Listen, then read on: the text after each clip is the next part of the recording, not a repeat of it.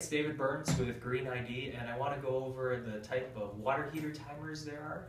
And we like water heater timers because, especially in the summer in Phoenix, you can set it to turn your water heater off in the peak hours of the day.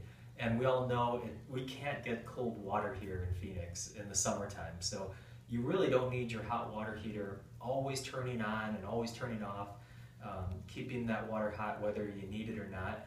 And so we like these timers because we can shut the water heater off during the peak hours when we're paying double the utility rate and then have it come on at night. And with a 50 gallon tank, a family of three or four, you won't run out of hot water. And they have, uh, it comes with these little clips. The green clip is the on uh, switch, and there's two of them it comes with, and the silver clip is the off switch. So you can actually program this for to come on and off two times a day, depending on your use when you're home and when you have, when you want hot water. And that's it. This is David Byrnes with Green ID.